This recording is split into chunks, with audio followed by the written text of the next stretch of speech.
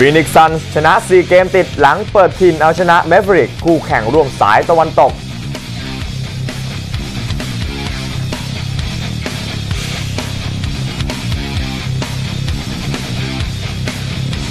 เมเร่ได้โค้ชใหม่หลังออสเตรเลียนโอเพน former players out there. She knows the game. I want you to do the job. The longer I've thought about it, and having known Amelie for so อินเตอร์เฮผีแดงปล่อยยานาไซ players you know, who come in. Competition for places is pretty intense here at, uh, at United. Yeah, there's a lot of good players. Uh, การ Sport Today มีความสุขและก็สุขภาพร่างกายแข็งแรงนะคะ เดินทางไปไหนก็ขอให้ระมัดระวังด้วยค่ะ แล้วก็ขอให้ทุกคนอายุมั่นขวัญยืนร่ำรวยร่ำรวยกันนะคะ แล้วก็อย่าลืมให้กำลังใจเมย์แล้วก็นักกีฬาคนอื่นๆด้วยค่ะ ขอบคุณค่ะ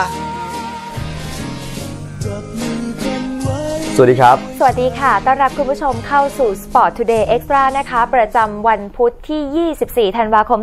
2557 ค่ะ อยู่กับดิฉันชมัยพร เห็นประเสริฐ และคุณกิติกรศิลปะดนตรีนะคะครับเมื่อสักครู่นี้ก็เป็นคำอวยพรของนักแบดมินตันสาวไทย น้องเมรัชนกอินทนนท์นั่นเองนะคะ ที่มาให้กำลังใจแล้วก็มาอวยพรนะคะคุณผู้ชมรายการ Sport Today ของเรานั่นเองค่ะ ครับผม เอาละค่ะเริ่มต้นกันก่อนเลยกับข่าวแรกนะคะ กับทางด้านของบาสเกตบอล NBA ในช่วง regular season ค่ะต้องบอกว่าทางด้านของ Phoenix Suns นั้นทำผลงานได้อย่างยอดเยี่ยมชนะ 4 เกมติดเรียบร้อยแล้วค่ะ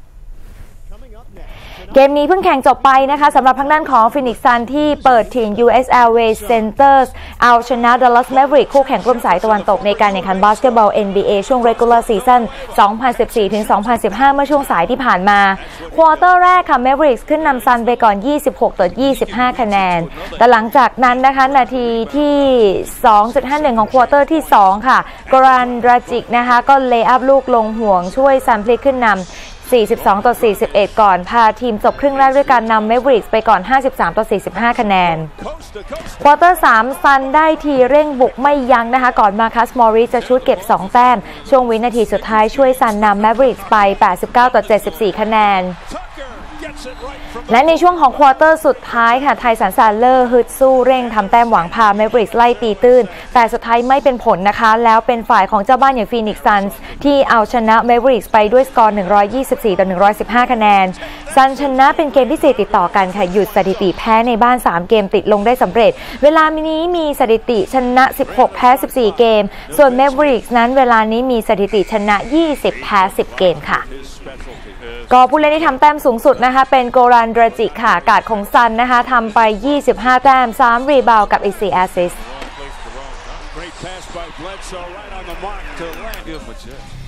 เดี๋ยวเรามาดูกันนะคะสำหรับการแข่งขันในคู่อื่นๆบาสเกตบอล NBA regular season ค่ะ Cleveland Cavaliers เอาชนะ Minnesota Timberwolves ไป 125 ต่อ 104 Indiana Pacers ชนะ New Orleans Pelicans 96 ต่อ 84 Orlando Magic ค่ะ ชนะ Boston Celtics 100 ต่อ 95 Washington Wizards แพ้ Chicago Bulls ไป 91 ต่อ 99 Atlanta Hawks ค่ะก็เป็นฝ่ายที่เอาชนะ LA Clippers ไป 107 ต่อ 104 Brooklyn Nets ชนะ Denver Nuggets 102 ต่อ 96 Miami Heat แพ้ Philadelphia 76ers ไป 87 ต่อ 91 Milwaukee Bucks ค่ะ แพ้ New Orleans Hornets ไป 101 ต่อ 108 และ Oklahoma City Thunders ค่ะ ไปแพ้ Portland Trail Blazers ในช่วงต่อเวลาพิเศษออกไป 111 ต่อ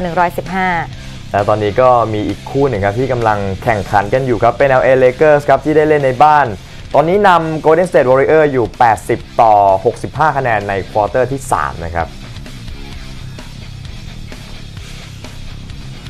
นะครับไปต่อกันที่ความเคลื่อนไหวในวงการกีฬาทั่วไปนะครับ ก็ฟริตซ์สตูเนกนะครับอดีตโค้ชของ 2 พี่น้องคลิทช์โก้นะครับก็เสียชีวิตด้วยโรคหัวใจฟริตซ์สตูเนกนะครับอดีตโค้ชผู้ฝึกสอนของ 2 พี่น้องแชมป์โลกรุ่นเฮฟวีเวทนะครับวลาดิเมียร์และก็วิตาลีคลิทช์โก้นะครับเสียชีวิตในวัย 67 ปีด้วยโรคหัวใจเมื่อวันอังคารที่ผ่านมา สตูเนกอดีตนักชกสมัครเล่นของเยอรมนีตะวันออก แล้วก็โค้ชคนดังครับทำงานให้กับ Universal Boxing Group ในเมืองฮัมบูร์กตั้งแต่ปี 1990 แล้วก็ทำหน้าที่ฝึกสอนให้ 2 พี่น้องคลิทช์โก้นะครับจนคว้าแชมป์โลกสำเร็จ ก่อนที่จะอำลาวงการในปี 2009สองพี่น้องตระกูลคลิทช์โก้ครับก็กล่าวว่าได้รับข่าวร้ายว่าสตูเนกซึ่งเป็นเพื่อนและก็โค้ชนะครับได้จากไปเมื่อคราวเพิ่งเดินทางมาถึงเยอรมนีสตูเนกครับเป็นบุคคลสำคัญที่ ให้การฝึกสอนจนพวกเขาคว้าแชมป์โลกได้ และการเสียชีวิตครั้งนี้ครับก็เป็นการสูญเสียบุคคลที่ยิ่งใหญ่ ในช่วงเวลาที่ยากลำบากครับ พวกเขาก็ขอส่งความห่วงใยไปให้ครอบครัวของอดีตโค้ชชาวเยอรมัน สตูเนกครับได้รับการยกย่องอย่างมากในวงการมวยประเทศเยอรมนีครับเขาฝึกสอนวิตาลีจนกระทั่งเลิกชก แล้วก็หันไปเล่นการเมืองในบ้านเกิด ภายหลังจากคว้าแชมป์ WBA WBC ครับขออภัยครับในปี 2012 แล้วก็ยังเป็นโค้ชของวลาดิเมียร์ผู้คว้าแชมป์ WBO ครับในปี 2000 อีกด้วยครับก็เป็นอีกหนึ่งความสูญเสียของวงการกีฬาโลกแล้วกันนะฮะ มาที่ข่าวคราวในวงการเทนนิสกันบ้างค่ะ เป็นโลอิกโคตัวโค้ชจากฝรั่งเศสตกเป็นข่าวว่าอาจจะได้ร่วมงานกับแอนดี้เมเรย์ช่วงต้นฤดูกาลหน้า โคตัวได้เจรจากับอเมลี่โมเรสโมโค้ชของเมเรย์เพื่อเข้ามาทำงานเต็มเวลา ภายหลังจบศึกแกรนด์สลัมแรกของปีออสเตรเลียนโอเพนในเดือนมกราคม โคตัววัย 50 ปีให้สัมภาษณ์กับสื่อในบ้านเกิดว่ามีการคุยกับโมเรสโมเมื่อ 2-3 สัปดาห์ที่ผ่านมา แต่ว่าอย่างไรก็ตาม เขายังไม่สามารถคุยกับเมเรย์ด้วยตนเองเกี่ยวกับแผนงานระยะยาวในอังกฤษ ซึ่งเป็นเรื่องที่เขายังไม่สามารถยืนยันในการรับตำแหน่งได้ โคตัวปัจจุบันทำหน้าที่โค้ชให้กับจูเลียนเบเนตูนะคะนักหวดหนุ่มมืออันดับที่ 25 ของโลก กล่าวเสริมในศึกออสเตรเลียนโอเพนจะทำงานกับเบเนตูไปก่อน แต่การร่วมงานกับเมเรย์และโมเรสโมถือเป็นความท้าทายครั้งใหม่ และมั่นใจว่าเบเนตูจะมีความก้าวหน้าด้วยตนเองหากไม่ได้ร่วมงานกับเขาเมเรย์จะอยู่ฉลองคริสต์มาสที่สหราชอาณาจักรก่อนเดินทางสู่กรุงดูไบในวันเสาร์นี้ เพื่อแข่งขันรายการแรกของฤดูกาล 2015 ร่วมกับนักหวดอย่างโนวัคโจโควิชและราฟาเอลนาดาล She's a good person, and um, yeah, I think uh, I think we'll, we'll communicate well together. I think that's you know. ครับก็หลังจากที่เมื่อวานนี้นะครับรายการ Sport Today ก็ได้รับเกียรติจากน้องเมย์รัชนกอินทนนท์นะครับแล้วก็คุณกมลาทองกรผู้อำนวยการโรงเรียนแบดมินตันบ้านทองหยอดครับก็เดินทางมามอบกระเช้าสวัสดีปีใหม่กับรายการใช่แล้วรับค่ะก็รายการก็เลยได้มีโอกาสได้สัมภาษณ์แล้วก็พูดคุยกับนะทั้งสองท่านไปอ่าครับเพราะฉะนั้นวันนี้ครับเรามีสกูปพิเศษจากน้องเมย์นะครับเป็นชื่อสกูปว่า รัชนกกับเป้าหมายในปี 2015 ครับ จะเป็นอย่างไรเดี๋ยวไปชมกันครับ สวัสดีแฟนๆ รายการ Sport Today นะครับ ช่วงนี้เป็นช่วงเวลาพิเศษนะครับ ตอนนี้ผมนั่งอยู่กับน้องเมย์รัชนกอินทนนท์นะครับ เจ้าของแชมป์แบดมินตันโลกในปี 2013 ครับ วันนี้เราจะมาพูดคุยกันถึงช่วงเวลาของความสำเร็จรวมไปถึงการวางแผนในอนาคตอันใกล้นี้ก็สวัสดีครับน้องเมย์ ครับผมจากปี 2013 ที่เราคว้าแชมป์โลกมาจนกระทั่งมาแข่งขันในปี 2014 แรงกดดันมีมากขึ้นไหมครับ กับแรงคาดหวังรวมไปถึงเสียงเชียร์จากคนไทยที่มอบไปครับ คือก็มีก็มีส่วนนะคะ แต่ว่าพอแรก ๆก็รู้สึกเหมือนก็สร้างความกดดันให้กับตัวเองมากกว่าคือ ก็เป็นธรรมดาที่แบบคนเขาก็ให้กำลังใจแล้วก็สนใจมากขึ้นนะคะ คือเลยเลยทำให้เมย์อาจจะแบบคิดว่าคนคาดหวังมากขึ้นก็เลยทำให้แบบความกดดันก็มีมีมากขึ้นก็เลยทำให้แบบต้อง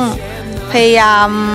กว่าจะปรับตัวเองได้ก็คือหลังๆแล้วค่ะ ก็รู้สึกว่าตัวเองก็ผลงานดีขึ้นนะคะคำแนะนำจากโค้ชจากทีมงานหรือว่าการ การรับมือกับแรงกดดันแบบนี้เราเรามีการวางแผนยังไงบ้างครับ หลังจากที่แรงกดดันมันเริ่มมามากขึ้นเรื่อยๆแล้วเรื่องนี้คือมีทั้งผู้ใหญ่ที่คอยออให้คำแนะนำค่ะเพราะว่าจริง ๆแล้ว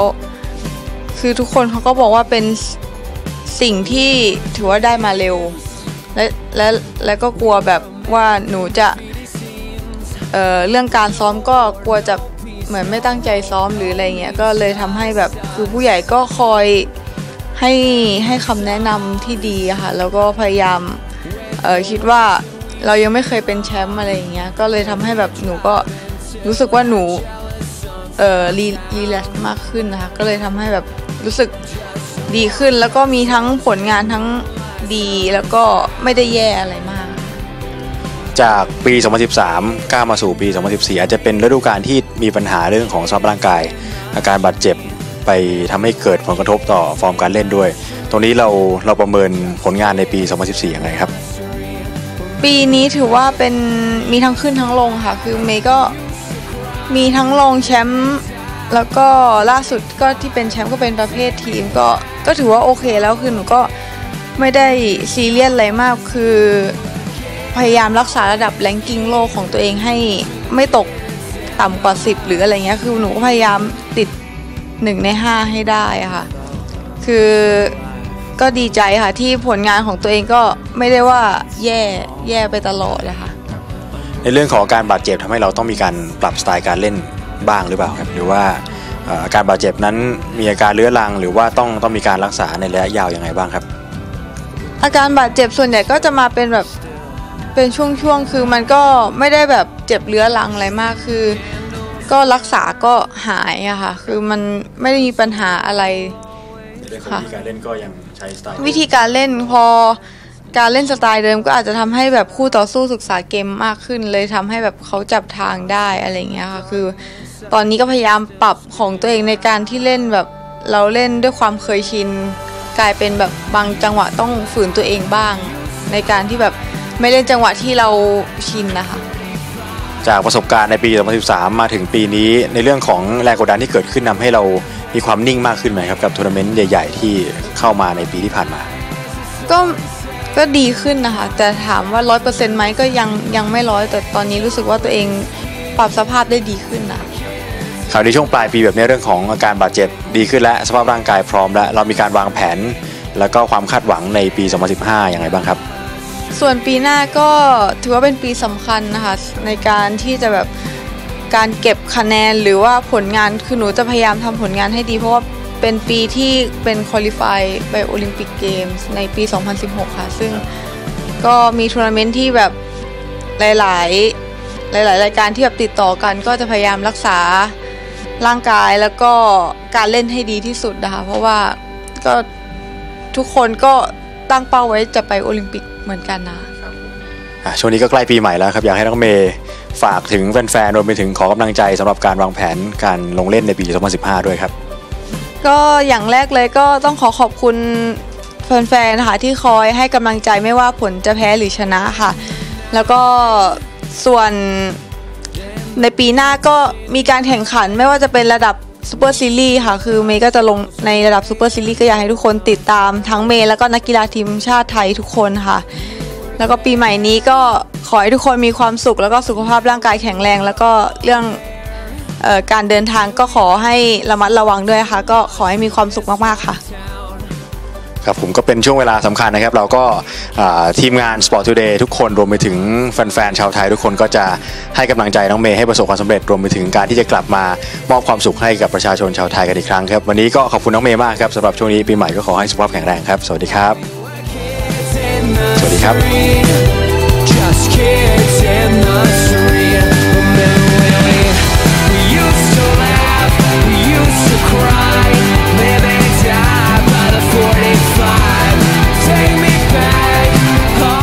all the ครับก็ผ่านไปสำหรับสกู๊ปนะครับก็ปี 2015 เนี่ยแฟนกีฬาชาวไทย รวมไปถึงแฟนแบดมินตันไทยนะครับก็ค่ะเป็นกำลังใจให้น้องเมย์ด้วยแล้วกันค่ะ ใช่แล้วค่ะ ก็ t w i c h e s เองก็ยังมีโปรแกรมการถ่ายทอดสดกีฬาที่มาเอาใจสำหรับแฟนๆที่เชียร์ทัพนักกีฬาไทยด้วยครับจะเป็นอย่างไรก็รอติดตามกันเรื่อยๆเลยนะคะครับแต่ว่าผมเดี๋ยวในช่วงนี้เราจะพักกันก่อนสักครู่ค่ะ ช่วงหน้ากลับมาความเคลื่อนไหวในวงการฟุตบอลรอคุณผู้ชมกันอยู่ค่ะ